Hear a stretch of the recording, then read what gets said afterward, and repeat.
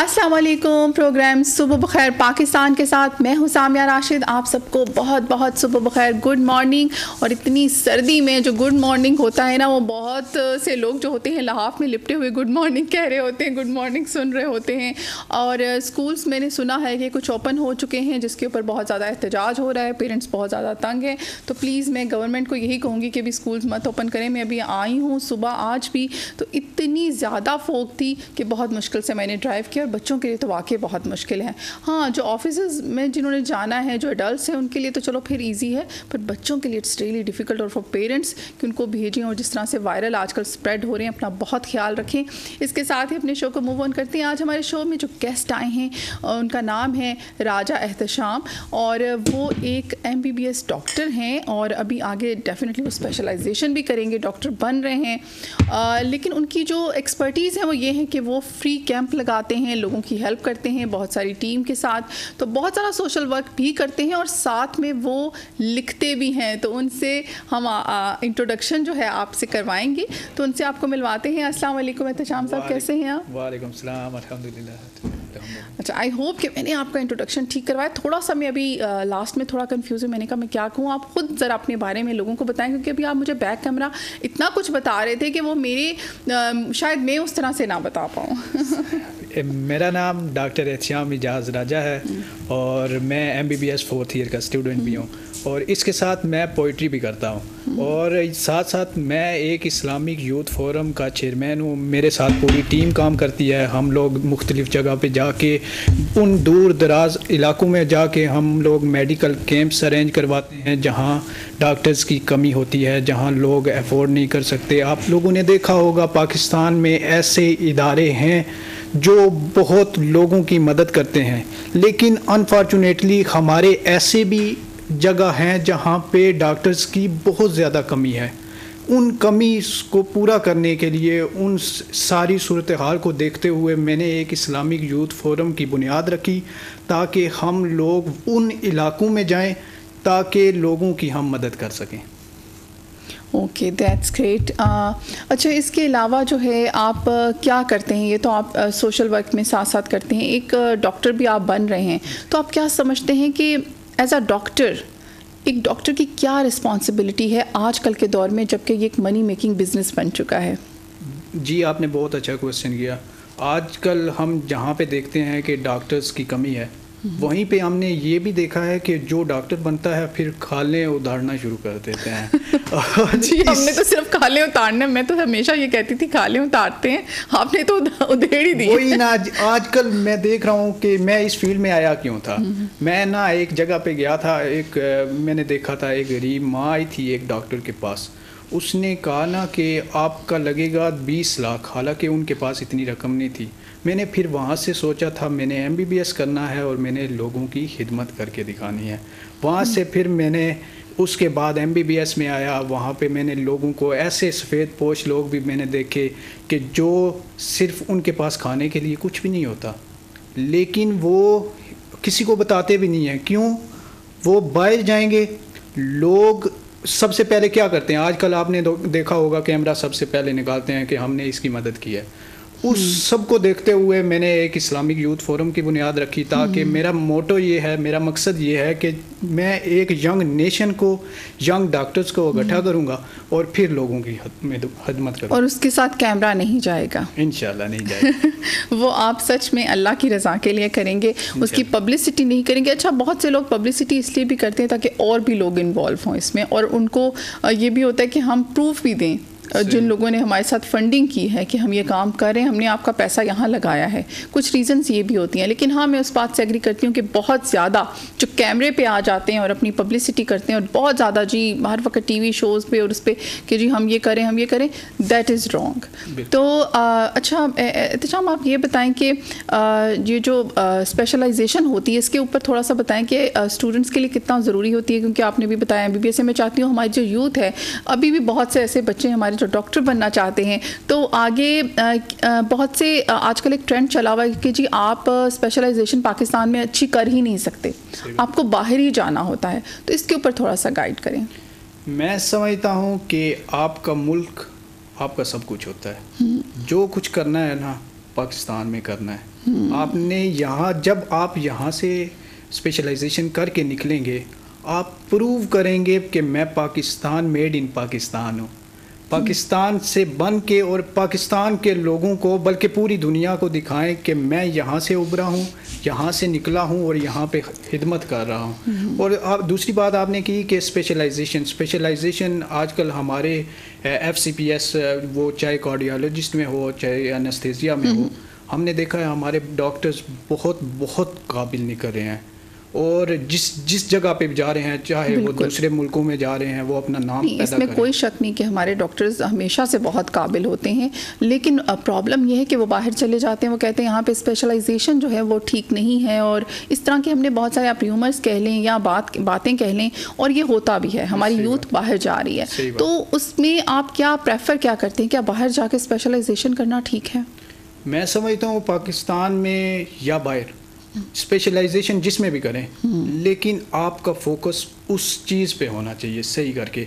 और मैं आपने जहाँ तक बात की ज़्यादा लोग हमारी यंग जनरेशन जो है वो बाहर चली जाती है। हाँ ये बहुत ज़्यादा ट्रेंड भी बन चुका है।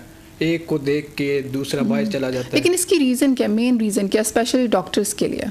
इसकी रीज़न ये है कि हमारे ना पाकिस्तान में उस तरह सहूलियात भी नहीं दे रही हुकूमत। उस तरह से हमारे जो मतलब के इदारे हैं वो नहीं बनाए जा रहे हैं। हमने देखा था आज से आठ साल पहले वही सीटें थी।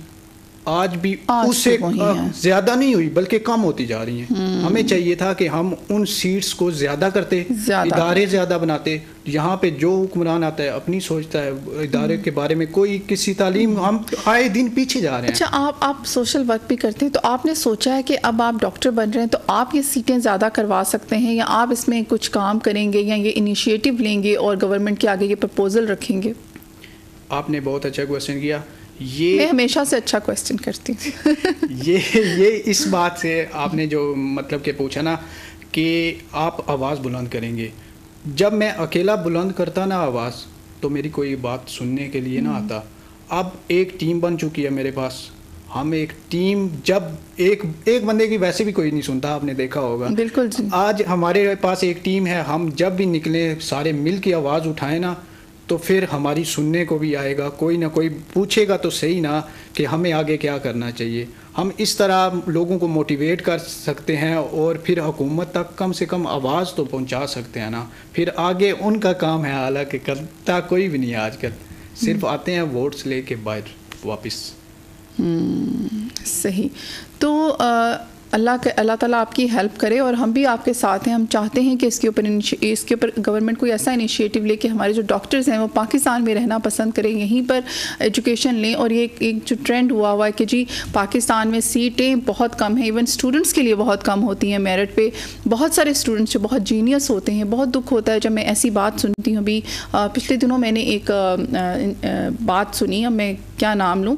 तो उन्होंने बताया कि जी, अगर आप प्राइवेट पढ़ाएँगे बच्चों को मेडिकल में तो आप चाहे आपने 60 परसेंट मार्क्स लिए हो 70 परसेंट आपका एडमिशन हो जाएगा मगर अगर आप मेरिट पे जाएँगे तो 90 परसेंट वाले बच्चे जो हैं वो भी रो रहे हैं। तो मुझे बहुत दुख हुआ क्योंकि उन बच्चों का ज़्यादा हक है जिन्होंने नाइन्टी परसेंट मार्क्स लिए या एटी परसेंट मार्क्स लिए उनको वो ज़्यादा इस चीज़ के हकदार हैं कि उनको मेरिट पर दिया जाए क्योंकि ये बहुत अच्छे आई थिंक ये, ये अगर बाहर हो बिलीव मी अगर फॉरेन कंट्रीज़ में हम देखें तो वो अपने बच्चों को बहुत प्रमोट करते हैं।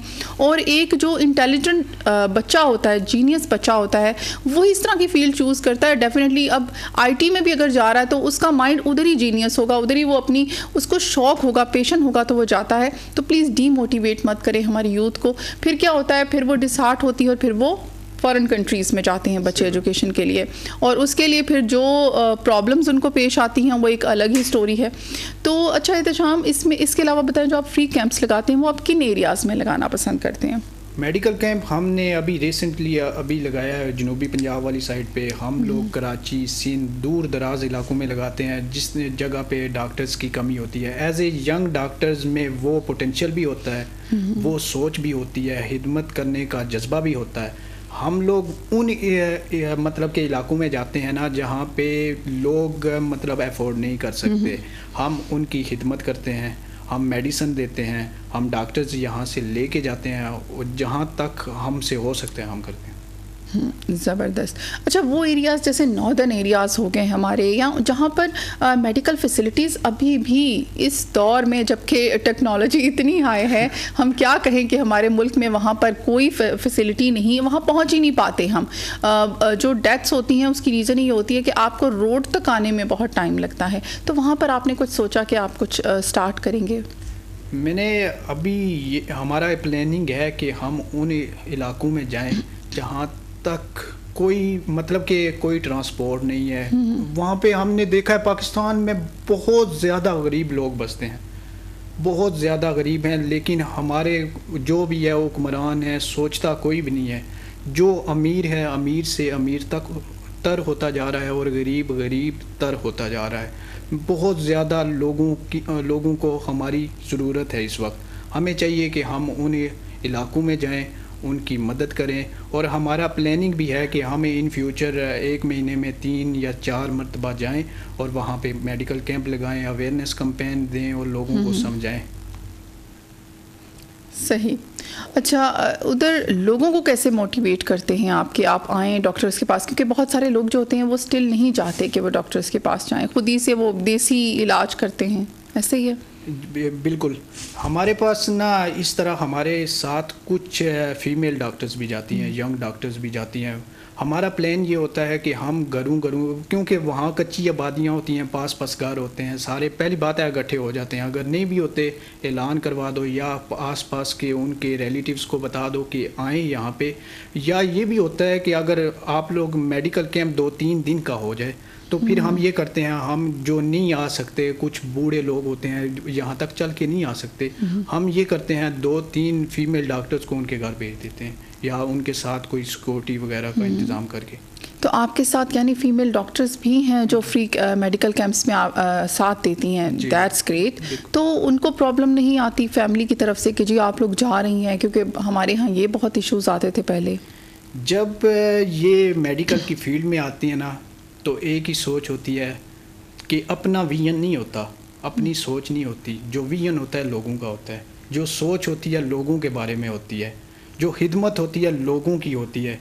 मतलब कि उनके बारे में हमें सोचना पड़ता है जो गरीब हैं दूसरों के लिए जान भी देनी पड़ती है। नहीं नहीं ये जो आप बातें कर रहे हैं ना अब मैं, मैं तो अपनी ऑडियंस की साइड पे होती हूँ मेरी पार्टी वही होती है। ये जो आप बातें करें हमने यहाँ तो किताबों में देखी हैं या टीवी पे देखी हैं हमने तो ऐसा कोई डॉक्टर नहीं देखा। बहुत कम शायद आप कह लें हंड्रेड में से वन परसेंट होगा जो ये इस पर प्रैक्टिकली भी आ, वो चलता होगा। क्योंकि मोस्टली तो हमने देखा है जी वही आपकी बात के खा ले उतार नहीं रहे आपने खुद ही बताया खा ले उधेड़ रहे हैं। तो ये सारी बात है। तो हम चले जाएँ कहीं पर भी चले जाएँ मनी मेकिंग बिज़नेस से पहले आप फॉर्म बनाएँगे इवन आप इतने बड़े हॉस्पिटल में मैं क्या नाम लूँ चले जाएँ। प्राइवेट हॉस्पिटल्स हैं बहुत बड़े लेकिन वहाँ पर भी वो ख्वार करते हैं कि जी पहले आप जाके आ, अपना वो बनाएँगे फॉर्म बनाएँगे सबमिशन करेंगे तो हम पेशेंट को देखेंगे पहले आप फ़ीस सबमिट करवाएँगे। मतलब वो चीज़ ख़त्म हो गई कि जब एक कॉन्सेप्ट होता था एक डॉक्टर बनता था तो वो इंसान सोचता था कि ये जो है ना मैं एक मसीहा बन रहा हूँ और मुझे इंसानियत की खिदमत करनी है। जब हम बचपन में ऐसे पढ़ते थे तो वही बात है, वो सिर्फ़ किताबों की हद तक रह गया। अब बिल्कुल भी प्रैक्टिकली नहीं होता। आई होप कि जैसा आप कह रहे हैं, वैसा ही हो।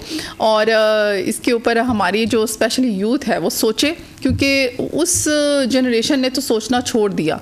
जो हाँ हमसे पहले की थी। अभी जो यूथ आ रही है हम सोच रहे हैं कि वो सोचे इस बात के ऊपर हमारी ख्वाहिश भी यही है क्योंकि देखें आ, मुल्क वही तरक्की करते हैं नेशंस वही तरक्की करती हैं जो अपने कौम के लिए भी सोचती हैं अपने लोगों के लिए भी सोचती हैं। तो ऐसे ही है एहतजाम। अरे मैडम हमने ये जो रखा है ना आई वाई एफ़ की बुनियाद रखी है हमने यही सोचा है कि 99 परसेंट एक तरफ़ जो वन परसेंट है ना हम हमने उन्हीं नाइन्टी नाइन परसेंट को भी अपने साथ मिलाना है और उनकी भी सोच को चेंज करना है। ये हम हमने ये मोटो रख के चले हैं और ये हमारा मकसद है। चलो अच्छा ये आ, अभी जब हम हॉस्पिटल्स की बात करें स्पेशली अगर हम सरकारी अस्पतालों की बात करें जहाँ पर लोग कहते हैं जी वहाँ तो गवर्नमेंट कहती है जी वहाँ तो फ्री है ये है।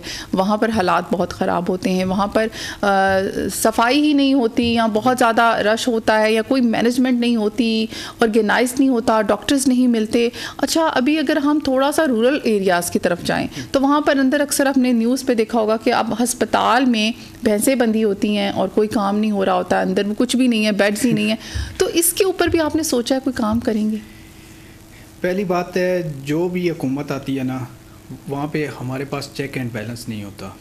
रूरल एरिया में वाकई ये जो बात है भैंसें बनी होती हैं कोई हम्म। डॉक्टर आता नहीं है इसी तरह ही बस इमारतें बनी हुई हैं। बिल्कुल लेकिन देखने वाला कोई नहीं है।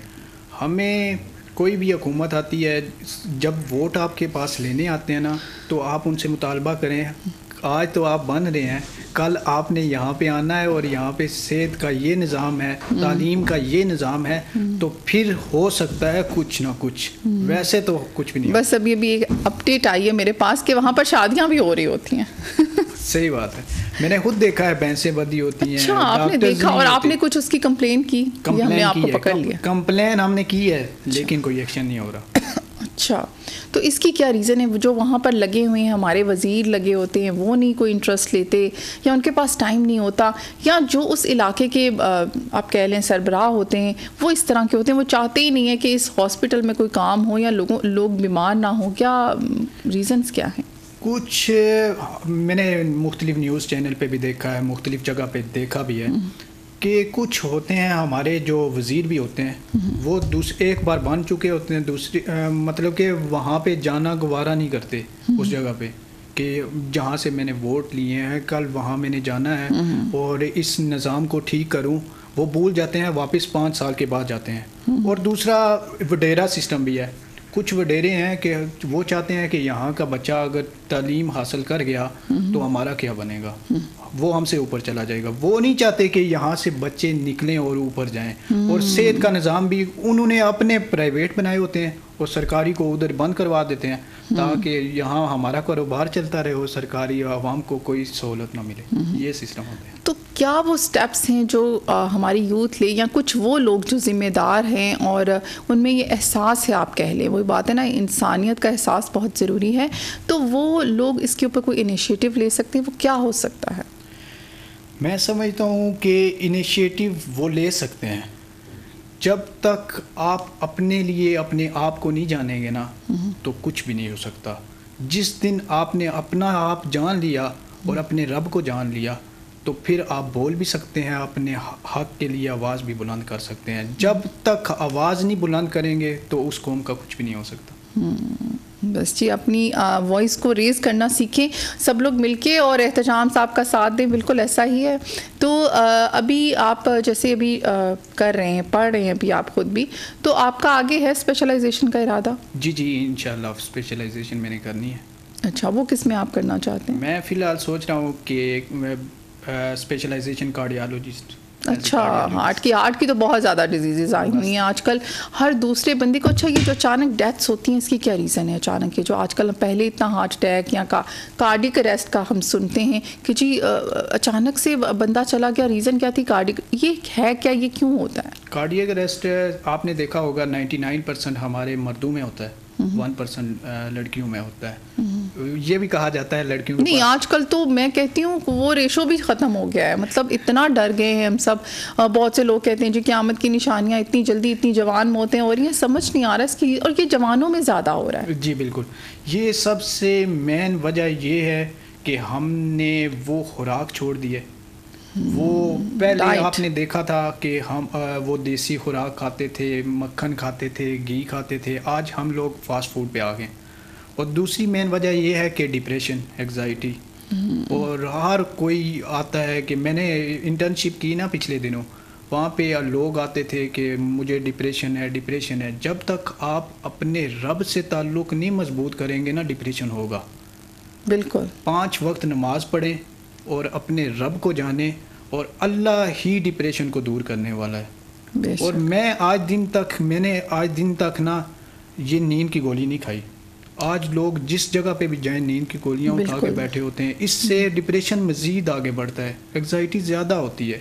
हमें इससे निकलना पड़ेगा हमें अपने रब से मांगना पड़ेगा अपने रब के हजूर झुकना पड़ेगा। फिर हम ये डिप्रेशन वाली बीमारी से दूर होंगे। मतलब ये वाकई में हमने पहले कभी नहीं सुना था। पहले तो लोगों को नाम भी नहीं, शायद आज से 20-30 साल पहले चले जाएँ डिप्रेशन का पता होता होगा कि डिप्रेशन भी कोई बीमारी है। लेकिन अब तो इतना ज़्यादा हो गया एंगजाइटी और डिप्रेशन और ये सब चीज़ें। तो वही बात है, आपने बहुत अच्छी बात कही। और सबसे बढ़कर डाइट अपनी डाइट का बहुत ख्याल रखें जो कि हम वाकई नहीं रख रहे। हमारा लाइफस्टाइल बहुत आ, हो गया है चेंज हो गया है। हमने रातों को जागना है दिन को उठा नहीं जाता जैसे मैं भी कह रही थी बिल्कुल नहीं उठा जाता सुबह को। और ये जो लाइफस्टाइल है इसको चेंज करें। मैं अक्सर अपने शो पर इसी की अवेयरनेस भी लाती हूँ। हम लोग एक्सरसाइज करने का भी बताते हैं। हमारे पास जिम ट्रेनर्स भी आते हैं न्यूट्रिशनिस्ट भी आते हैं। तो रीज़न ये होती है वो यही कहते हैं कि एक्सरसाइज बहुत ज़रूरी है डाइट बहुत अच्छी ज़रूरी है। और इसके अलावा आपका जो इनर है, वो बहुत अच्छा होना चाहिए और उसके लिए भी एहतशाम साहब ने बहुत अच्छी टिप दी है। नमाज़ें पढ़ा करें एज अ मुस्लिम ख़ुद को स्ट्रॉन्ग करें, क्योंकि अपना ईमान को स्ट्रॉन्ग करें तो डिप्रेशन एंगजाइटी सब भाग जाते हैं। अच्छा जी एहतशाम साहब, इसके अलावा हमने देखा कि बहुत सारे अस्पतालों में ये बहुत ज़्यादा इशूज़ आना शुरू हो गए थे कि जी रॉन्ग मेडिसिन दे दी या रॉन्ग इंजेक्शन दे दिया। उसकी क्या रीज़न्स होती है? क्या डॉक्टर जानबूझ के आखिर क्यों करेगा ऐसे आखिर? जिस तरह आपने ये क्वेश्चन किया कि डॉक्टर जानबूझ के कोई भी डॉक्टर ऐसा नहीं होता कि वो जानबूझ के गलत मेडिसिन लिखे। मगर हमने देखा कि देते हैं। उसकी क्या सिर्फ़ वो उस कंपनी को प्रमोट करना चाह रहे होते हैं पता होता है कि इसमें रॉन्ग चल रहा है लेकिन वो कहते हैं चलो जी दे देते हैं तजर्बा करते हैं इसके ऊपर एक्सपेरिमेंट ये भी होता है कुछ 99 में से 99 परसेंट उनमें से वन परसेंट ऐसे भी होते हैं जो खुद परस्त होते हैं खुद परस्त उन्हें कहा जा सकता है हम्म। कि वो कंपनी के साथ डील कर लेते हैं वो लिख हम्म। देंगे या मैं समझता हूँ ज़्यादा ये होता है कि कुछ डॉक्टर इतने बिज़ी होते हैं आगे जो काम करने वाले होते हैं उन्हें कहते हैं कि ये मेडिसिन लिखो उन्हें इसके बारे में पता तक नहीं होता कि ये मेडिसिन का नाम क्या है फार्मूला क्या है जेनरिक नेम क्या है और ब्रांड नेम क्या है हम्म। वो लिख के दे देते हैं और आवाम भी कुछ हमारा ये भी है कि कुछ फार्मेसी पे भी फार्मासिस्ट होते ही नहीं है। अच्छा। वहाँ पे छोटे छोटे बच्चे काम कर रहे होते हैं। हम लोग जाके एक तो डॉक्टर्स की राइटिंग वहाँ पे समझ नहीं आ रही होती उन्हें। बिल्कुल। फार्मासिस्ट ये तो हमारे यहाँ का अच्छा ये क्या रीज़न है? ये राइटिंग वाली रीज़न मुझे आज तक नहीं समझ में आई। पूरी दुन, दुनिया में तो खैर मुझे नहीं पता बाहर के डॉक्टर्स तो खैर अच्छा मैं वहाँ भी गई थी यूए में उनकी तो खैर राइटिंग थोड़ी बेहतर ही थी।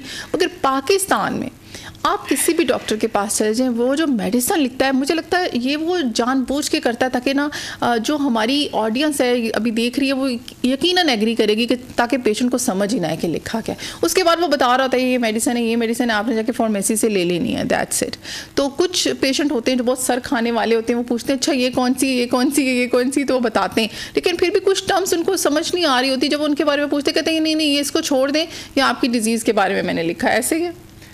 मैं इस बात से एग्री नहीं चलिए इसको यहीं से कंटिन्यू करेंगे। असल में टाइम होता है एक छोटी सी न्यूज़ ब्रेक का। हम आप आपने कहीं नहीं जाना क्योंकि मैं यहीं से कंटिन्यू करूँगी। और ज़रूर एहतशाम साहब से पूछूँगी इसकी क्या रीज़न है। तो स्टे ट्यून मिलते हैं ब्रेक के बाद। वेलकम बैक जी हाँ हम बात करेंगे वहीं से स्टार्ट कि आखिर डॉक्टर्स जो होते हैं, वो क्यों करते हैं? ऐसे बहुत सारे काम हैं जिसमें क्यों का सवाल आता है।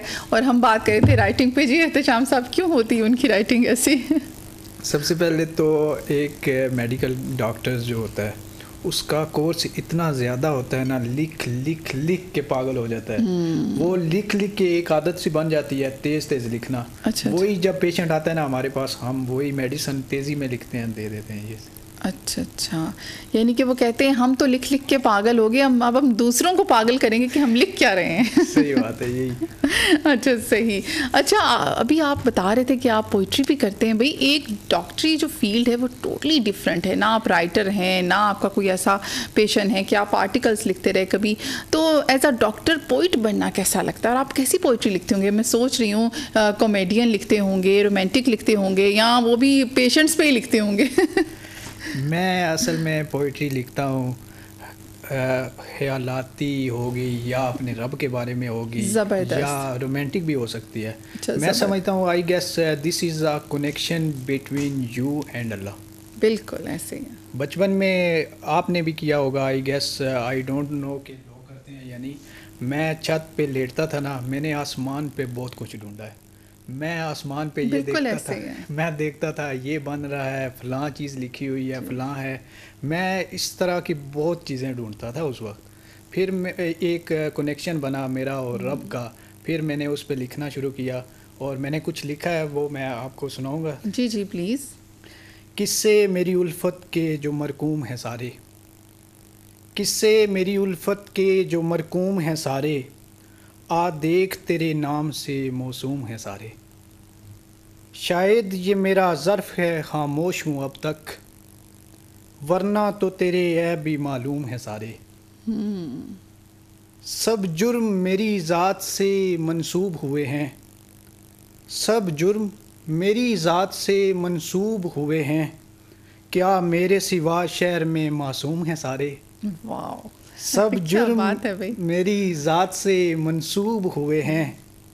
क्या मेरे सिवा शहर में मासूम हैं सारे? ज़बरदस्त। बहुत ज़बरदस्त आप भी लिखते भी हैं और बड़ा अच्छा लगा कि आप, ऐसा नहीं है कि अगर आप किसी फ़ील्ड में चले जाएँ, डॉक्टर बन जाएँ, इंजीनियर बन जाएँ तो आप अपने पेशेंट को भूल जाएँ। अगर आपका कोई और हॉबी है या आपकी कोई और कोई और पेशेंट भी है आपका तो प्लीज़ उसको कंटिन्यू रखें। ये ज़िंदगी का हिस्सा है, क्योंकि इससे आपको एक एनर्जी जो है ना, वो बहुत मिलती है। ऐसे ही है। बिल्कुल। तो आप फ्री होते हैं तो आप पोइट्री करते हैं इट मीन्स जी बिल्कुल आई वाई एफ़ को हम देखते हैं उसके बारे में प्लान करते हैं। पोइट्री ख्याल में आ जाए तो फ्री बैठा हूँ तो लिख भी देता हूँ और लोगों के बारे में सोचता हूँ कि आगे क्या करना है अब निकलना क्या है लोगों की खिदमत कैसे करनी है ज़बरदस्त। जी बिल्कुल। तो कुछ और सुनाएँ अगर कुछ और भी है आपके पास तो? एक शायर ने लिखा था मेरा अपना नहीं है कि बिछड़ कर उसका दिल लग भी गया तो क्या लगेगा? बिछड़ कर उसका दिल लग भी गया तो क्या लगेगा? वो थक जाएगा और मेरे गले से आ लगेगा। मैं मुश्किल में तेरे काम आऊँ या ना आऊँ? मुझे आवाज़ दे लेना तुम्हें अच्छा लगेगा। मैं जिस कोशिश से उसको भूल जाने में लगा हूँ ज़्यादा भी लगा तो एक और हफ़्ता लगेगा। अच्छा मुझे लगता है आपको थोड़ी सी ना वो इंटरेस्टिंग सी पोइट्री है आपकी जो आपको पसंद है। आप पढ़ते भी हैं तो इंटरेस्टिंग है लिखते भी हैं तो इंटरेस्टिंग है ऐसे ही है? जी बिल्कुल मैं पढ़ता भी हूँ। अलामा इकबाल को पढ़ता हूँ। देखिए इकबाल का तो कोई कम्पीट ही नहीं कर सकता उनको तो मेरे जैसा बंदा भी पढ़ता है और अ, हमें हमें भी उनके बारे में इतना पता है कि हम कहते हैं कि उन जैसा शायर और मुफक्किर नहीं देखा हमने। सही बात। जो अपनी यूथ के लिए इतना सोचता हो मैं हमेशा कहती हूँ जो आने वाली यूथ के लिए इतना सोचता हो जो आने वाले फ्यूचर के लिए इतना सोचता हो अपनी नेशन के लिए कि अगर आप उनकी पोइट्री उस टाइम की पढ़ें तो जो वो कहते थे वही हो रहा है। उनको इतनी फ़िक्र थी इस दुनिया के मुसलमानों की इस स्पेशली अपनी अपनी नौजवान नस्ल की मुसलमान नौजवान नस्ल की कि वो आप पढ़ते हैं तो आप हैरान हो जाते हैं और ऐसे ही लोग होते हैं जो कौमों को संवारते हैं। तो अ, अच्छा ये तो आपने बताया अपनी शायरी की तरफ़। एज अ डॉक्टर हम दोबारा से बात करते हैं आपके साथ। तो आजकल वायरल बहुत ज़्यादा फैले हुए हैं क्योंकि आपने देखा आज कितनी फोग है बाहर। कल भी थी सुबह उठ के आना बहुत मुश्किल होता। है और ये जो वायरल हैं ये इतने कोई अजीब से आ रहे हैं कि जहाँ पर सुने जिससे सुने वो ये कहता है जी कफ नहीं जा रही। बहुत प्रोलोंग हो गया है। तो इसकी रीजंस क्या हैं? असल में आजकल मौसम भी चेंज हो रहा है उस तरह बारिश भी नहीं देखिए मौसम पहले भी चेंज होता था मगर ये कंडीशंस नहीं होती थी जब से कोविड गया है इसलिए ये सब हो रहा है। असल में देखें ना इस तरह अभी बारिशें भी नहीं हुई उस तरह फोग ज़्यादा हो रही है हमारे पास ट्रांसपोर्ट भी ज़्यादा बढ़ रही है। ट्रांसपोर्ट की वजह से वो धुआँ और इस तरह का धुआँ होता है और इर्द गिर्द का माहौल भी उस तरह सफ़ाई नहीं है। जिस तरह वायरल इन्फेक्शन फैल रहे हैं मुख्तलिफ़ जिस तरह कोविड कोविड हमारा अभी रिसेंटली गुजरा है हमने उस ऐसे ही है। से जान छुड़ाई है। और इसी तरह हम देखते हैं कि हमारे निज़ाम में ये सफ़ाई का भी इतना नहीं है। उस तरह हम गंदगी हर तरफ़ फैली होती है। जी मैं तो बहुत कोशिश करती हूँ कि अवेयरनेस दूँ यकीन करें। हमने अपने शो पे ऐसे लोग भी बुलाए हैं जो ये अवेयरनेस दें कि जो ट्रैक का आपने देखा होगा हमारे जो इतने ब्यूटीफुल ट्रैक्स हैं उस पर वो एक अवेयरनेस मैन आजकल बहुत हिट हो रहे हैं। वो हमारे शो पर आए हैं। वो पहले कभी कहीं नहीं गए थे। उनको हमने बुलाया।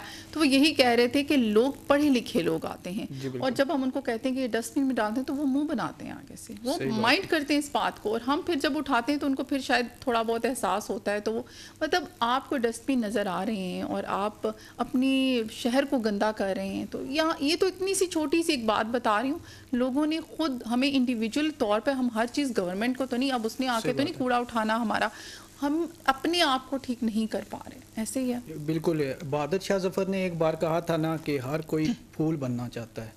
हर कोई फल बनना चाहता है। आप लोगों को बीज बनना पड़ेगा। अपने आप को जानना पड़ेगा। और अपने आप को जब जानता है ना तो ये नहीं सोचता. कि फलां हुकूमत करेगी या वो बंदा करेगा। जब आप ठीक होंगे ना तो हर एक चीज़ ठीक हो सकती है। बिल्कुल ऐसे ही है। तो हमें खुद को ठीक करने की बहुत ज़रूरत है। बिल्कुल ठीक कहा आपने। तो इसका कहीं ना कहीं डाइट से भी फिर कनेक्शन है क्योंकि हमारी डाइट भी वैसी नहीं ऐसे ही है। बिल्कुल। हमारी आजकल डाइट पहले भी हमने बात की कि डाइट आजकल हमारी फुल जो मतलब कि जो आ गया खुराक हम्म। वो फास्ट फ़ूड पे हम लोग हैं। हम्म। हमने वो सब्ज़ियाँ छोड़ दी हैं। हमने वो घी और वो मक्खन हम्म। वगैरह हर चीज़ को तर कर दिया है। हम हम्म। लोग उठते अब हैं। तो ढूँढने भी जाएँ तो नहीं मिलती। दोबारा से लोग ऑर्गेनिक फ़ूड की तरफ़ आ रहे हैं और अब ढूँढने जाते हैं तो मिलती नहीं है। पहले खुद हमने इसको ज़िंदगी से निकाला। बिल्कुल ऐसे ही बिल्कुल यही बात। आज कल हमारे वो शोर भी नहीं है, वो लगन भी नहीं है, वो जज्बा भी नहीं है। कि आज जो भी उठता है ना आपके लोगों को अपने अपने प्रोडक्ट्स को सेल करवाने के लिए हमारे टीवी चैनल्स पे भी जो इश्तहार आ रहे होते हैं कि फलां ये चीज़ लें आपकी डाइट ठीक हो जाएगी ये चीज़ लें आपकी डाइट ठीक हो जाएगी। हालाँकि ऐसा कुछ नहीं होता। जी बिल्कुल मैं अक्सर कहती हूँ प्लीज़ अपनी सेहत के साथ मत खेलें। ये जो सोशल मीडिया पर स्क्रॉल डाउन करके आप अक्सर अपने फेस के साथ अपनी स्किन के साथ खेलते हैं अपनी हेल्थ के साथ खेलते हैं। और अब तो मुख्तलिफ़ टिप्स यूज़ करके आप अपने बालों के साथ भी खेल रहे होते हैं तो मत करें ऐसे क्योंकि आप अपनी सेहत का ख्याल रखें। आई थिंक इतनी अवेयरनेस हम सब में है कि अच्छी डाइट क्या है और उसको आप करें अपनी एक्सरसाइज करें अपना लाइफ ठीक करें जो कि हम नहीं कर पाते। जैसे मैंने अभी बताया आज तो मैं बिल्कुल कहते हैं ना नींद ही नहीं पूरी हुई मेरी दो दिन से। आज भी मैं रात को इतना लेट सोई हूँ सुबह उठा ही नहीं गया और मैं उसी तरह फटाफट आई हूँ शो पे। तो ये जो है ना हमारा लाइफ मैं खुद को भी पहले इंक्लूड करती हूँ कि बहुत ज़्यादा ख़राब हो चुका है इसको ठीक करने की बहुत ज़रूरत है अच्छा इतशाम साहब हमने अभी हम जब हॉस्पिटल्स की बात कर रहे थे तो ये भी बहुत ज़्यादा न्यूज़ में अक्सर देखने को मिलता है कि जी ऑपरेशन से ऑपरेशन हुआ और जो डेथ हुई उसकी रीज़न ये थी कि यंग डॉक्टर को भेज दिया गया कि आप ऑपरेट करें ऐसे क्यों इंसिडेंट्स होते हैं आप हमारे मुल्क में असल में देखें कि एक यंग डॉक्टर जब निकलता है एमबीबीएस करके हम्म। वो उसने पढ़ा तो होता है हम्म। लेकिन उसके पास ना वो एक्सपीरियंस नहीं होता जो एक सीनियर डॉक्टर एचओडी के पास होता है एसोसिएट डॉक्टर के पास होता है इस सारे प्रोसीजर को समझने के लिए कुछ टाइम तो लगता है जब हम्म। तक सिर्फ़ पढ़ने से नहीं होता ना कुछ जब तक आप प्रैक्टिकल में नहीं जाएँगे प्रैक्टिकल हम्म। लाइफ में निकलेंगे वो तभी होता है जब आपके पास सीनियर डॉक्टर मौजूद हो।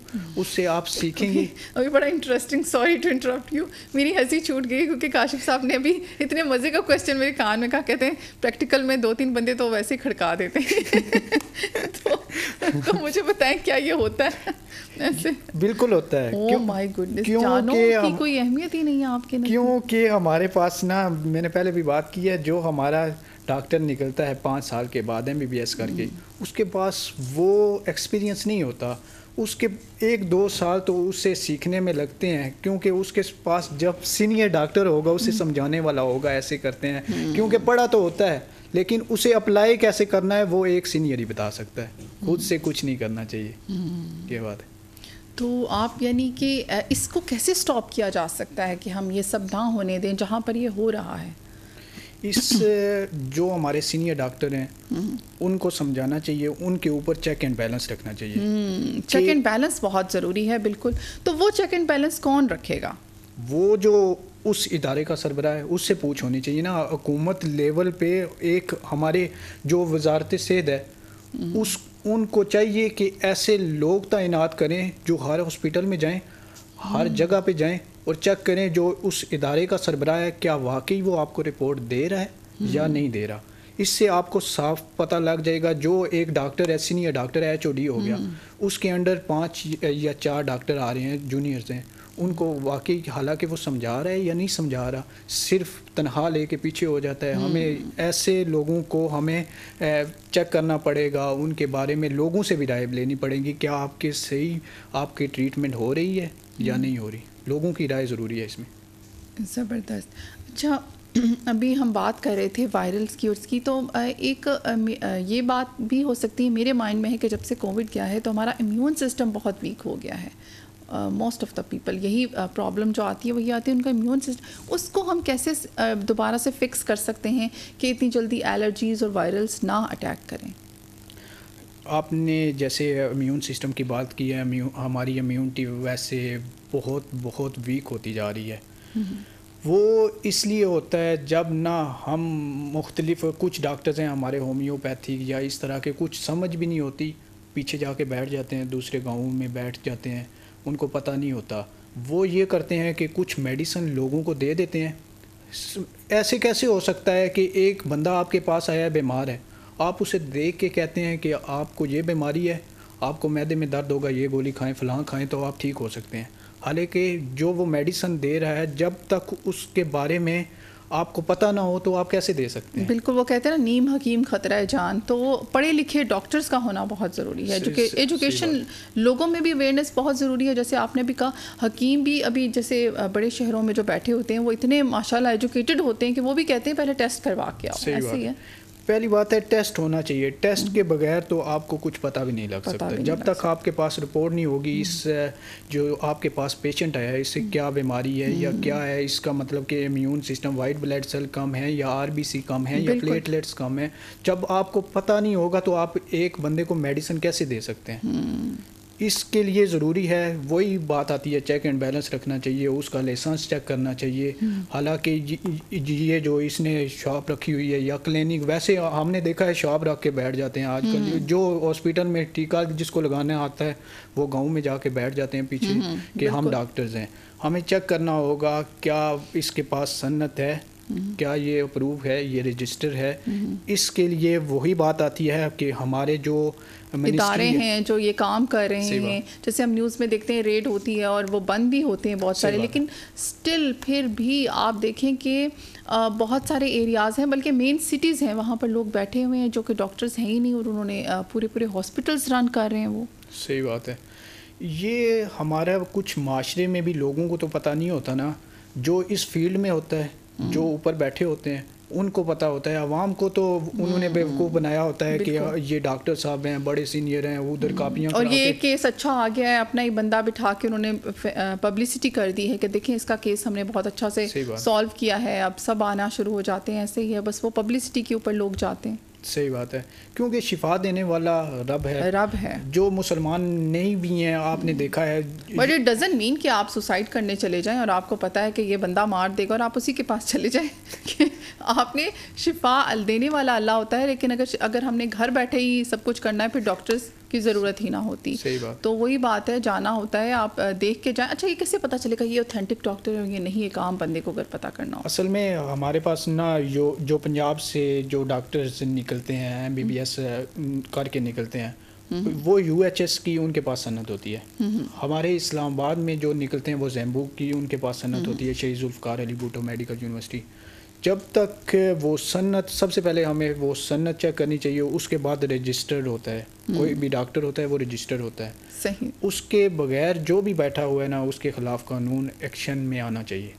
हम्म। जो भी बैठ जाते हैं उनके हम ये कैसे होगा? जब एक दो को आप सज़ा देंगे तो बाकियों को फिर पता लगेगा इसका हम्म। इतना बड़ा नुकसान है। हमारे ख़िलाफ़ एक्शन लिया जा सकता है। तो। फिर वो डरेंगे। जब आप ये करेंगे कि एक, दो को उठाएँगे और फिर पैसे लेके फिर दूसरे दिन वो बैठ जाएँगे। इस तरह दूसरे जो लोग हैं, वो भी कहते हैं, कुछ नहीं होता। पाकिस्तान है या इस तरह का इदारा है तो हम चले जाएँ। बिल्कुल चलें जी हम दुआ करते हैं। मैं हमेशा कहती हूँ दुआओं पे ये मुल्क कायम है। हम दुआ करते हैं कि हमारी गवर्नमेंट भी इसके ऊपर कुछ स्टेप्स ले और हम लोग इंडिविजुअल तौर पे भी इस पर जो कर सकते हैं हम स्टार्ट करें और हमारी स्पेशली यूथ जैसे एहतशाम अभी बिल्कुल यंग हैं और ये कर रहे हैं कोशिशें तो हम सबको मिल के कोशिश करने की ज़रूरत है। Thank you so much Ehtesham आप हमारे शो पर आए और आपने बहुत अच्छी इन्फॉर्मेशन दी बहुत अच्छी अच्छी बातें की। ट्रस्ट की तो ज़रूरत होती है जिनसे मैंने आपको भी मिलवाया थोड़ी देर पहले लेकिन ब्यूटिशन की ज़रूरत इसलिए होती है कि इस मौसम में जितना ड्राई वेदर हो जाता है और बारिशें बिल्कुल नहीं हो रही और मेरा तो इतना ड्राई हो गया कि सुबह मेरा मुँह ही नहीं खुल रहा था यकीन करें। तो इतना मॉइस्चराइज करते हैं लेकिन वो फिक्स नहीं होता। तो बहुत सारे क्वेश्चन हैं उनसे पूछेंगे। तो उनका नाम है लुबना हसन उन, उनसे आपको मिलवाते हैं। अस्सलाम वालेकुम लुबना कैसी हैं आप? वालेकुम सलाम मैं ठीक हूँ आप कैसी हैं? जी जी अल्हम्दुलिल्लाह हम भी ठीक हैं। अच्छा लुबना जो ब्यूटिशंस जब आती हैं ना हमारे शो पे तो हम थोड़ा सा एक्साइटेड होते हैं कि हमें न्यू टिप्स सुनने को मिलेंगी और हमारी ऑडियंस को भी मिलेंगी। तो मुझे ये बताएँ कि आजकल ये जो ड्राई वेदर है इसमें हम अपनी स्किन का ख्याल कैसे कर सकते हैं? बिल्कुल इस मौसम में आपको पता है स्किन बहुत ज़्यादा ड्राई हो जाती है एक्स्ट्रा ड्राई हो जाती। है हम्म। उसके लिए बेहतर है कि मॉइस्चराइज करें स्किन को। ड्राई हम्म। ना रहने दें। जितनी ज़्यादा ड्राई होगी उतनी ज़्यादा स्किन ख़राब होगी। रिंकल्स हम्म। आ जाते हैं। जी, अच्छा। उसमें- और अपनी स्किन के आप स्किन टाइप्स और उनके ऊपर कैसे आप आ, कर सकते हैं? एक आम आ, जो पर्सन है वो कैसे ये रिकग्नाइज कर सकता है कि मेरी स्किन टाइप ये है और मुझे इस तरह से चलना है? थोड़ी रूटीन बताएँ कि क्या होनी चाहिए स्किन की। सर्दियों में कह रही हैं जी जी। सर्दियों में तो ज़्यादातर स्किन जो है वो ड्राई हो जाती है ऑयली स्किन भी ड्राई हो जाती है। वेदर आपको पता है ना तो उससे बेहतर है कि मॉइस्चराइज करें। साथ साथ जैसे हैंड वॉश करती हैं लेडीज़ किचन में बर्तन धोती हैं कपड़े धोती हैं तो साथ साथ लोशन का इस्तेमाल इस्तेमाल करें। कोई अच्छा मॉइस्चराइज़र हो। हम्म। और इसके अलावा आप क्या रिकमेंड करती हैं कि हमें विंटर्स में अपनी स्किन के लिए क्या क्या करना चाहिए? उसकी वही लोशन एक तो यूज़ करना चाहिए और आपको कुछ घरेलू टिप्स बता देती हूँ जो कि सबके लिए इजी हैं हर कोई यूज़ कर सकती अच्छा है। एज ब्यूटिशियन आप घरेलू टिप्स आपने वो ट्राई की हैं कभी जो बिल्कुल मैंने की। अच्छा यानी कि ट्राइड एंड टेस्टेड हैं। चलिए जी बिल्कुल बताएँ आप हमारी ऑडियंस को। एक तो एलोवेरा का यूज़ ज़्यादा करें। एलोवेरा जेल ले लें घरों में लगी होती है अक्सर। उससे यह कि जेल भी साथ साथ लगा लेंगी ना तो स्किन जैसे ड्राई होकर फट जाती है। अक्सर छोटे बच्चों के साथ भी ये होता है। तो एलोवेरा जेल ये कि आप सब में यूज़ कर सकते हैं बच्चों में बड़ों में अगर ओल्ड लेडीज़ हैं वो भी यूज़ कर सकती हैं। अच्छा। तो ये घरेलू टिप है सस्ती सी। अच्छा स्किन के लिए हो गई। इसके अलावा मुझे बताएँ आजकल क्या ट्रेंड चल रहा है? मेकअप में क्या ट्रेंड चल रहा है? मेकअप में क्या ट्रेंड चल रहा है? डिफरेंट चल रहा है लेकिन आजकल तो सॉफ्ट ज़्यादा आपको पता है। सॉफ्ट लोग ज़्यादा पसंद करते हैं। आजकल तो काफ़ी ब्राइट्स भी हैं जो सॉफ्ट मेकअप ज़्यादा चल रहे हैं। चैनल्स पे देख लें वैसे नॉर्मली अच्छा आप मीडिया में भी मेकअप करती हैं तो क्या डिफरेंस क्या देखती हैं आप नॉर्मल जो रियल लाइफ का मेकअप होता है और जो स्क्रीन मेकअप होता है? बहुत डिफरेंट होता है बहुत डिफरेंट है। और जो कैमरे का मेकअप है वो थोड़ा डार्क होता है आपको पता है उसमें कंटोरिंग थोड़ी डार्क होती है। और नॉर्मली तो आपको पता है बेस लाइट बेस होती है लाइट मेकअप होता है। सही। तो इसके अलावा आप क्या रेकमेंड करती हैं कि जो हमारी ब्यूटिशियंस हैं आजकल जैसे हर कोई उठ के ब्यूटी पार्लर ओपन कर लेता है थोड़ा सा उसकी प्रैक्टिस भी नहीं हुई और फिर वो डिफरेंट किस्म की अ, अपनी ही प्रोडक्ट्स ले आता है। आजकल ये बहुत ज़्यादा हो रहा है और फिर हमारी जो फिर मीडिया पर आता है जी स्किन ख़राब हो गई या फ़लाँ ब्यूटिशन के पास गए तो ये हुआ या फ़लाँ हेयर स्टाइलिस्ट के पास गए तो उसने बालों के बाल ही उड़ा दिए तो क्या रेकमेंड करती कैसे पता चलेगा ये ऑथेंटिक ब्यूटिशन है क्या इसके लिए कोई सर्टिफिकेशन या एजुकेशन जैसे आजकल तो बहुत अवेयरनेस आ गई है लोगों में। तो ये लेना कितना ज़रूरी है? सर्टिफाइड होना कितना ज़रूरी है? बहुत ज़रूरी है बहुत ज़रूरी है। आप सही कह रही हैं। अक्सर रिबॉन्डिंग करते हुए ख़राब हो जाते हैं स्ट्रिक्स करते हुए बाल डैमेज हो जाते हैं। और स्ट्रिक्स का स्पेशली ये होता है कि उनको टाइम का नहीं पता होता कि कितना टाइम हमने कट डाउन करना है। फोर्टी मिनट्स जो नॉर्मली है वो फोर्टी मिनट्स होते हैं। Thirty to forty minute time होता है। तो कोई सैलॉन्स वाली दो दो घंटे छोड़ देती हैं जिससे बाल बहुत ज़्यादा डैमेज होते हैं गिरना शुरू हो जाते हैं डेड हो जाते हैं। तो बेहतर ये होता है कि किसी क्वालिफाइड के पास जाएँ। तो कैसे पता चलेगा कि ये क्वालिफाइड जो है ब्यूटिशन है या ये नहीं है? बातों से पता चल जाता है मतलब जिस तरह आपको वो गाइड करेंगी उनकी गाइडनेस से आपको पता चल जाए नहीं देखिए हमारी आवाम इतनी अगर तेज होती स्मार्ट होती तो स्कैम होते ही ना ये हमारे भी साथ। सही कह रही हैं। तो कोई ऐसा वे होना चाहिए आप उसके ऊपर थोड़ा सा प्लीज़ डिटेल दें कोई प्रोडक्ट्स देख लें उनकी। फिर ये कि जो प्रोफेशनल ब्यूटिशियन हैं वो अच्छी प्रोडक्ट्स यूज़ करेंगे। देखें प्रोडक्ट्स में तो वैसे ही स्कैम हो रहा है। प्रोडक्ट्स देख के उनको क्या पता चलेगा। ये भी सही कह रही हैं। ये भी सही कह रही हैं। ये इशू है एक। लेकिन ये है कि तो क्या स्टेप्स हैं जो लेने चाहिए एज अ ब्यूटिशियन आप लोगों को और गवर्नमेंट को वो बताएँ। सर्टिफिकेट तो आज आजकल आपको पता है बन जाते हैं हर जगह से। लेकिन फिर ये है कि वही बात है कि अगर किसी अच्छे इंस्टीट्यूट से उन्होंने सीखा हुआ है किसी अच्छे सैलॉन से सीखा हुआ है सर्टिफिकेट्स हैं और बहुत कम सैलॉन है जिनके ऊपर सर्टिफिकेट सैलॉन्स के अंदर अवेलेबल हैं। अच्छा जी मैं अ, शायद हमारी गेस्ट को नहीं इतना आइडिया लेकिन मैं बताती चलूँ कि इसके ऊपर भी रेड हो रही है। जो अन आप कह लें कि अनक्वालिफाइड होते हैं या फिर आप कह लें कि ऑथेंटिक ब्यूटिशंस नहीं हैं अगर वो आपको कहीं से भी शक होता है डाउट होता है आप भी रिपोर्ट कर सकते हैं और फीमेल पुलिस जो है उनके भी बंद करवा रही है क्योंकि ये एक बहुत बड़ा फ्रॉड है आपकी स्किन के साथ खेला जा रहा है आपके आपकी हेल्थ के साथ खेला जाता है। तो आप लोग भी रिपोर्ट कर सकते हैं और इसके ऊपर अब गवर्नमेंट काफ़ी एक्शन ले रही है और हमारी ख्वाहिश है कि ये हर सेक्टर में हर एरिया में चाहे उन एरियाज़ में जहाँ पर वो जैसे मेन सिटीज़ में तो बहुत ईजी है कि आप रिपोर्ट कर सकते हैं या आपको पता चल जाए लेकिन उन एरियाज़ में जहाँ पर लेडीज़ इतनी पढ़ी लिखी नहीं है उनको अवेयरनेस नहीं है वहाँ पर भी अगर आपको ऐसा कोई डाउट होता है आप रिपोर्ट करें। और ये बहुत आप बहुत ज़्यादा ज़रूरी हो गया है क्योंकि हर बिल्कुल। जो है वो डॉक्टर भी बना बना ऐसे ही है। जी आप ये कर लें वो कर लें और उसके बाद जो हाल होता है बेचारी लेडीज़ का वो तो ना ही पूछें। तो ऐसे ही है। अच्छा ये जो आजकल मेकअप हो रहा है आजकल वेडिंग सीजन्स भी आपको पता है विंटर्स में वेडिंग्स बहुत होती हैं। तो एक सीज़न चल रहा है जी वेडिंग्स हो रही हैं तो आजकल क्या थीम चल रहा है मेकअप का उसके ऊपर? ब्राइड्स के। मेकअप का स्मोकी आइज़ अच्छा अभी ब्राइड्स का स्मोकी आइज़ का ज़्यादा ट्रेंड है वो ज़्यादा डिमांड करती जी हैं। ज़्यादा स्मोकी आइज़ का। अच्छा तो एक अब जैसे शादी होनी अक्सर हमने देखा है कि लड़कियाँ जी पूछ रही होती हैं जी हमारी शादी को दस दिन रह गए या पंद्रह दिन रह गए अब हम क्या करें? पिंपल निकल आया वो। तो आप क्या स्टेप्स रेकमेंड करती हैं? उसके लिए एक मास्क मैं आपको बता देती हूँ जो बहुत इफ़ेक्टिव है। उसके लिए यह है कि आपका जो लेमन ड्राई लेमन होता है ना अवेलेबल होता है पंसारी से मिल जाता है। उसका उसको पाउडर बना लें उसका। या घर में बना लें उसका पाउडर बना के उसको थोड़ा सा उसके अंदर एलोवेरा जेल डालें। और थोड़ा सा उसके अंदर क्रीम है या कोई भी अच्छा आपका मॉइस्चराइज़र लोशन है उसके अंदर डाल के उसको पेस्ट बना के वो फेस पे अप्लाई करें। उससे ये कि एक्नी वगैरह भी चले जाएँगे स्किन टाइट हो जाएगी उससे आपकी। अच्छा ज़बरदस्त। तो वैसे क्या steps as a beautician steps बताएँ कि उसको क्या करना चाहिए? स्किन डिफरेंट होती है अगर तो उनकी ड्राई स्किन आप लोग आप हाँ थोड़ा डिटेल में बताएँ ताकि हमारी ऑडियंस को पता चले कि वो क्या स्टेप्स हैं जो ब्यूटी पार्लर्स में हम जाते हैं। वही बात है मुझे लगता है कि मैं ही ब्यूटिशियन आज बन गई हूँ। हम लोग जाते हैं तो डेफिनेटली बहुत सारे स्टेप्स होते हैं जो आप लोग कहते हैं। फॉलो अप करें आपने आपने इस दिन आना ये होगा ये होगा फिर जाकर आपका मेकअप होगा। मैं उन स्टेप्स के बारे में फेशियल्स की आप बात करें बहुत कुछ ट्रीटमेंट्स होते हैं सारे आपने करने होते हैं। वो स्टेप्स थोड़े से गाइड कर दें कि किस तरह से होने चाहिए। अगर तो स्किन उनकी थोड़ी डार्क है तो फिर वाइटनिंग ट्रीटमेंट उसमें उनको दिए जाते हैं स्किन के मुताबिक जैसे उनकी स्किन की कंडीशन है। एक्नी है तो उसका डिफरेंट होता है हर्बल फेशियल करते हैं ज़्यादा ब्लीच वगैरह नहीं करते अगर एक्नीज वगैरह हैं तो क्योंकि स्किन ख़राब हो जाती है। तो फेशियल जब भी करवाएँ एक दो दिन दो दिन पहले करवाएँ तो रिज़ल्ट ज़्यादा बेहतर आता है। अच्छा सही। तो इसके अलावा आप क्या रेकमेंड करेंगी हमारी यूथ को हमारी लेडीज़ को कि वो अगर वो ब्यूटिशियन बनना चाहती हैं तो उन्हें किस तरह की एजुकेशन लेनी चाहिए? अगर ब्यूटिशन बनना चाहती हैं तो किसी अच्छे सैलून से सीखें। प्रॉपर सीख के उसके बाद सैलून अपना स्टार्ट करें। क्योंकि आजकल तो ये ये थोड़े दिन सीखते हैं वन मंथ के बाद सैलून खुल जाता है। चलें अ, चलिए अच्छा ये बताएँ कि वैसे एक ब्यूटिशन बनने के लिए आजकल क्या ट्रबल्स हैं जो लेडीज़ को फेस करना पड़ती हैं? बहुत ज़्यादा फेस करना पड़ती हैं इसलिए कि आपको पता है जैसे अभी आपने बताया कि मतलब प्रोफेशनल लेडीज़ काम है। प्रोफेशनल ब्यूटिशियंस अवेलेबल नहीं होती जगह जगह पे। अच्छा सैलून आपको ढूंढना पड़ता है। अच्छा सैलून आपको ढूंढना पड़ता है। अच्छा अच्छा सैलून हो तो वहाँ से सीखें। मतलब एक दो महीने सीखी वाली या इस तरह किसी ब्यूटिशियन से ना सीखें। क्योंकि उनका पैसा भी वेस्ट होता है टाइम भी वेस्ट होता है फ़ायदा कोई भी नहीं होता। अच्छा अच्छे मेकअप के साथ अच्छा ड्रेस होना और उसको कैरी करना कितना ज़रूरी है? बहुत ज़रूरी है। बहुत ज़रूरी है। मेकअप अगर अच्छा होगा ड्रेस अच्छा नहीं होगा तो फिर भी वही बात है, जो आपके साथ सूट करे। अच्छा जी टाइम होता है, एक छोटी सी ब्रेक का, आप लोगों ने कहीं नहीं जाना, मिलते हैं ब्रेक के बाद।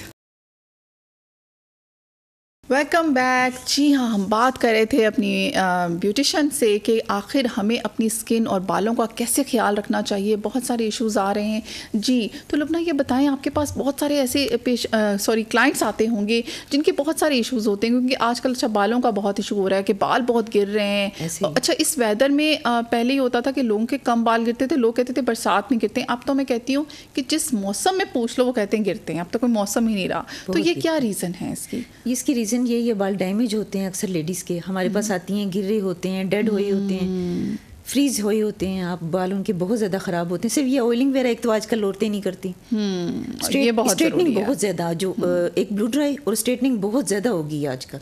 जिसकी वजह से आपको पता है बाल डैमेज हो जाते हैं बहुत ज़्यादा। और फिर ट्रीटमेंट्स भी कोई औरतें जो लेती हैं जाके सैलून्स में प्रॉपर अपनी ट्रीटमेंट उनके बाल तो ठीक रहते हैं। और जो ट्रीटमेंट्स नहीं लेती स्ट्रेट अच्छा हमने सुना है ट्रीटमेंट से भी बाल ख़राब हो जाते हैं जो बहुत ज़्यादा केमिकल्स यूज़ करते हैं हम अपने बालों पे वो उस टाइम पे तो बहुत शाइन देते हैं लेकिन बाद में क्या होता है उसके आफ्टर इफेक्ट्स जो होते हैं वो बहुत वर्स होते हैं तो वो उसके बारे में थोड़ा सा बताएँगे क्या रीज़न नहीं ट्रीटमेंट से कुछ नहीं होता डैमेज आपके एक्सटेंसो रिबॉन्डिंग अच्छा और स्ट्रीक्स हैं। लेने से इससे आपके बाल बहुत ज़्यादा डैमेज हो जाते हैं लेकिन ट्रीटमेंट लेने से नहीं क्योंकि इसमें प्रोटीन मिलते हैं आपके बालों को ट्रीटमेंट में। जैसे बाल हेल्दी होते हैं आपके। अच्छा अभी आपने कहा ऑयल्स यूज़ नहीं करती हैं लेडीज़ तो कौन से ऑयल्स हैं जो अच्छे हैं और वो यूज़ करने चाहिए?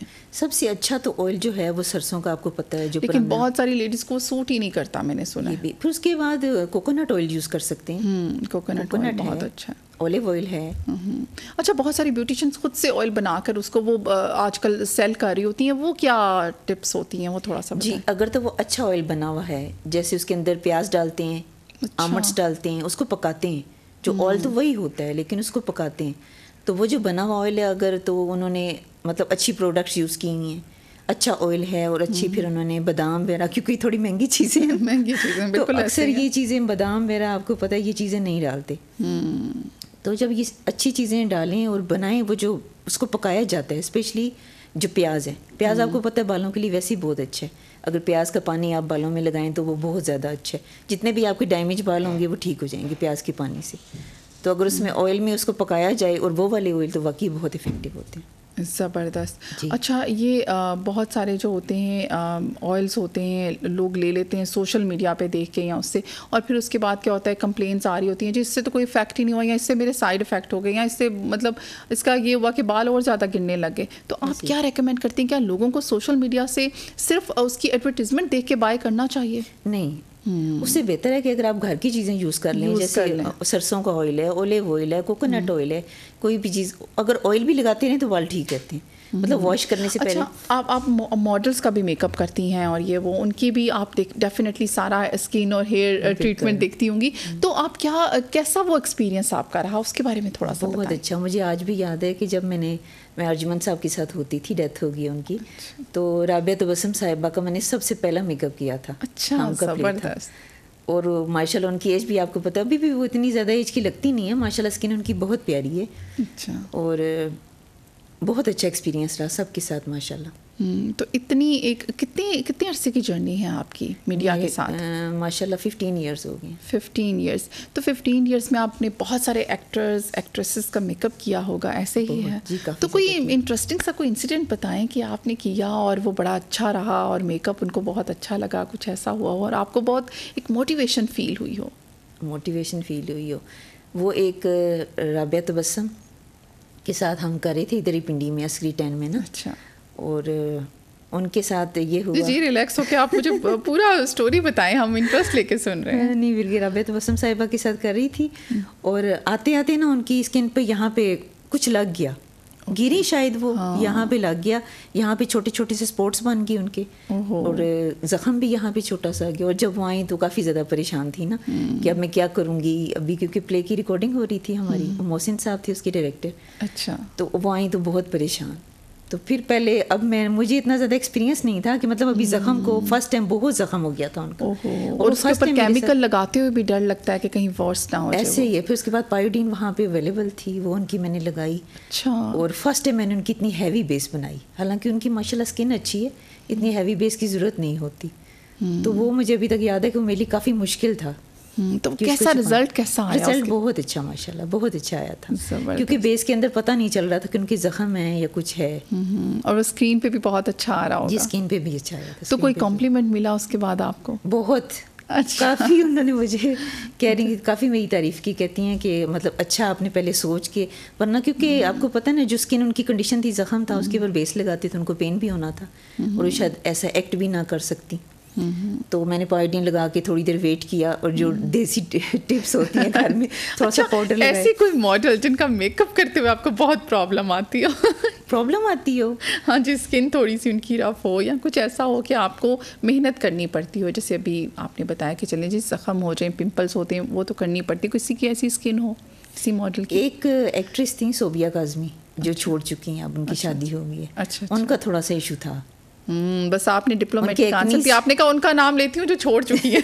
छोड़ ताकि प्रॉब्लम ही ना मेरी दोस्त बहुत अच्छी थी ऐसी अच्छा अच्छा। उसके साथ मैंने काफ़ी तो उनकी प्रॉब्लम क्या आती थी? स्किन में क्या एक्नी थे काफ़ी ज़्यादा। अच्छा एक्नी एक्नी जो स्किन होती है उसको मेकअप करने में और कवर अप करने में बड़ा मसला बड़ा मुश्किल होता है। और सेकंड उनकी जो स्किन थी ना वो मिक्स थी। कहीं से ड्राई कहीं से ऑयली हम्म, फिर बहुत इश्यूज़ आते फिर बहुत इश्यूज़ होते थे कि अगर आप ड्राई ऑयली बेस अगर आप ड्राई साइड पे ऑयली साइड पे लगाते हैं तो वो भी प्रॉब्लम होती है क्योंकि ऊपर से एक्नी भी थे उनके तो तीन टोन हो स्किन की तो फिर मुश्किल होता हाँ, है। ये आपने जो तीन टोन की बात की अच्छा अक्सर ऐसा होता है कि अभी जैसे ड्राई वेदर है ना अगर हम फेस पे लगाएँगे तो हमारे हाथों का कलर पेल सा फील हो रहा होगा हमें मतलब वो मैच नहीं कर रहा होगा। ऐसे। तो ये क्या रीज़न इसको कैसे कवर अप किया जा सकता है? इसको कवर अप ऐसे जैसे पैन केक्स हैं आजकल। हम्म। अच्छी ब्रांड्स के हैं मैक के हैं कैरालोन के हैं।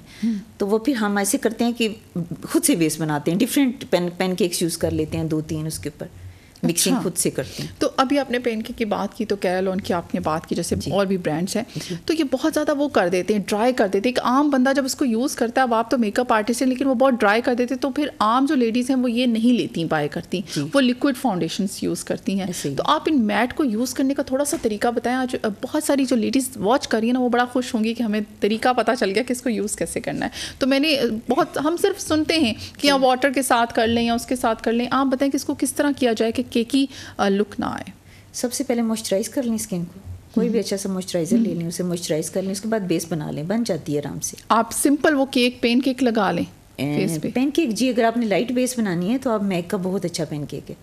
आप सिर्फ़ अगर लाइट बेस बनानी है तो वो और ये जो हमारा लोकल ब्रांड है उसकी आप बात करी रही थी। Brands लोकल तो- नहीं है ये भी आई थिंक इंटरनेशनल ये कैरालोन की आप बात कर रही थी? हाँ तो इस पे अगर हम डायरेक्ट उसको पेन केक को अप्लाई कर लें फेस पे तो वो बहुत केकी लुक देता है। तो आप क्या टिप देती हैं उसको आप किस तरह से मिक्स करती हैं? आपने अभी बताया। फिर उसके लिए अगर आप दो ले लें फोर्टी फाइव नंबर ले लें थर्टी टू ले लें हम्म, वो नॉर्मली हर स्किन के लिए चल जाते हैं। अच्छा सही। वो दोनों अच्छा और कुछ लोग होते हैं उनकी स्किन बहुत फेयर कलर होता है लेकिन जब वो फाउंडेशन लगाते हैं तो उनका टैन सा लुक देता है चाहे वो कितनी भी फेयर लगा लें।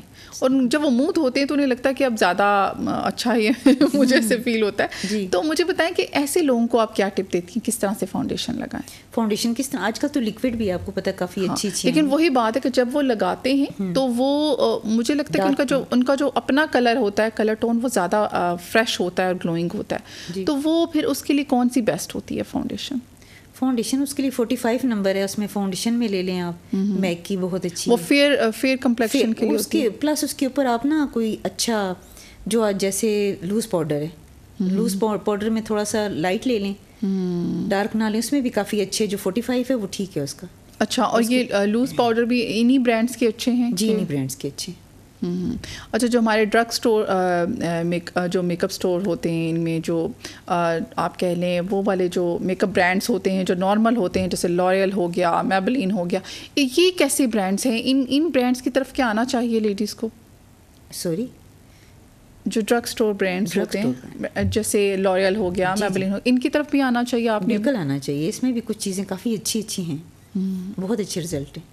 अच्छा तो आप मेकअप चूज़ करने में आप क्या प्रेफर करती हैं कि इंसान को जैसे आजकल बहुत सारा इकोनॉमिकल सिचुएशंस ऐसी हैं बहुत सारी लेडीज़ चीप मेकअप की तरफ़ जाती हैं जबकि जैसे बहुत सारी लेडीज़ हैं अगर मैं कहूँ जैसे मैं हूँ तो मैं कहूँगी जी स्किन के लिए कॉम्प्रोमाइज़ नहीं करना हमने अच्छी प्रोडक्ट की तरफ़ जाना है चाहे आप कम ले लें आप कम मेकअप लेकिन आपने ऑथेंटिक ब्रांड यूज़ करना है चाहे और यहाँ से अगर नहीं मिल रहा आपको जैसे कि ये बहुत बड़ा इशू है कि पाकिस्तान से आपको फेक मेकअप का बहुत डर लगा रहता है। तो आप लोग बाहर से मंगवाना पड़ता है वो बहुत इश्यूज़ आते हैं। तो आप बताएँ अच्छा एक तो उसके ऊपर सबसे पहले बताएँ कि उसमें हम क्या करें? कौन सी साइट्स ऐसी हैं क्या हम अ, किस पे हम भरोसा करें ये नहीं समझ आता। ये तो आप सही कह रही हैं। अगर ऑनलाइन मंगवा लें तो ऑनलाइन बेहतर है आजकल। बजाय मार्केट में फिर लेडीज़ परेशान होती हैं कि कौन सा ओरिजिनल है कौन, कौन सा नहीं आप इंटरनेशनल मार्केट से उसको आजकल बाय कर सकते हैं वो इजीली आ जाता है बिल्कुल ऐसे ही है। अच्छा ये तो इसका इशू हो गया तो हम बात कर रहे थे कि इस तरह से फिर बहुत सारी प्रॉब्लम्स आती हैं तो आप क्या रिकमेंड करती हैं लेडीज़ को कि वो किस तरह का मेकअप यूज़ करें? कि वो अपनी स्किन के साथ ना उनकी प्रॉब्लम आए। वही ब्रांड का अगर वो यूज़ करेंगी तो फिर प्रॉब्लम्स नहीं आएँगी। आपको पता है लोकल इस तरह लेकिन वो लेडीज़ जो अफोर्ड नहीं कर सकती मैं उनकी बात कर रही थी जैसे बहुत सारी लेडीज़ हैं जो अभी भी ऐसी हैं जो नहीं अफोर्ड कर पाती फिर वो चीप ब्रांड्स की तरफ़ जाती हैं। तो उसमें फिर क्या चीप ब्रांड्स की तरफ़ ना जाएँ उसे ये कि अगर आप कोई अच्छा एक फाउंडेशन ले लें और लूज पाउडर साथ ले लें तो बस है। इनफ है आपका मेकअप वही बात है आप बहुत सारी चीज़ों से फिर अवॉइड करें कि ये भी बाय करना है वो भी बाय करना जो न, आप कह लें नेसेसरी इसमें है थिंग्स होती हैं कॉस्मेटिक की जो होती हैं वो आप बाय करें और उनको यूज़ करें। जैसे फाउंडेशन बहुत ज़रूरी हो गया लूज़ पाउडर हो गया आप वो यूज़ करें आपका एक बेस अच्छी बन जाएगी ऐसे ही है और बाकी मेकअप तो आपको मैंने हमारी बहुत सारी ब्यूटिशन से कहती हैं जी एक लिपस्टिक से भी हो जाता है ऐसे ही है। ऐसे ही ऐसे ही। तो आप थोड़ा सा अच्छा ये जो यूट्यूब पे ट्रेनिंग देती हैं ब्यूटिशंस कि आप जी ऐसे मेकअप करें इससे क्या हुआ हमारी यूथ बहुत इस तरफ़ जाना शुरू हो गई। पहले इतना ट्रेंड नहीं था लोगों को पता नहीं था जी ऐसा मेकअप करें आई मेकअप का बन रहे हैं ट्यूटोरियल्स आ रहे हैं जी वो कैसे आ, सीखना है आपने। तो घर में बैठी बच्चियाँ सिर्फ़ उसी से बहुत कुछ सीख काफ़ी कुछ सीखती हैं तो आ, क्या ये एक अच्छा स्टेप है? बिल्कुल अच्छा स्टेप है। अच्छा स्टेप है। अगर मतलब कोई जैसे गाँव में देहात में है जो सैलून नहीं जा सकती उनके लिए ज़्यादा है कि चलें वो कुछ सीख लेती हैं शादी है कि पार्टी पे जाना है तो वो देख के आपको पता है इजीली घर में मेकअप कर लेती हैं। हाँ ऐसे ही है। अच्छा कोई मैसेज देना चाहेंगी उन बच्चियों को उन पेरेंट्स को जो कि अपनी बच्चों को इस तरफ़ नहीं आने देते कि ये किस तरफ़ जा रहे हो? एजुके, एजुकेशन डेफिनेटली बहुत ज़रूरी है। वो आपको अपनी कंप्लीट करके फिर इस तरफ़ आना चाहिए। लेकिन आजकल इसका कितना ट्रेंड है और हर फ़ील्ड जो है ना उसमें पेशा होना बहुत ज़रूरी है मैं कहती हूँ। तो उनके लिए कोई मैसेज देना चाहेंगी? जो लड़कियाँ इस फ़ील्ड में आना चाहती हैं। हम्म। वैसे जैसे मैं टीवी में मेकअप करती हूँ टीवी मेकअप आर्टिस्ट मीडिया का वो थोड़ा लोगों को अच्छा नहीं लगता। तो ब्यूटिशियन का तो आपको पता है वो तो आप घर में भी सलोन बना सकते हैं कहीं भी बना सकते हैं। हम्म। तो वो ज़्यादा बेटर है लेडीज़ के लिए। कहीं जाना नहीं पड़ता घर के अंदर सलोन बना लें घर को भी देखें और बिज़नेस भी करें। हम्म, ज़्यादा इजी है। Thank you thank you so much Lubna आप हमारे शो पे आई और आपने बहुत अच्छी टिप्स दी। इसके साथ ही हमारे शो का टाइम ख़त्म होता है इजाज़त चाहेंगे। अल्लाह हाफिज़।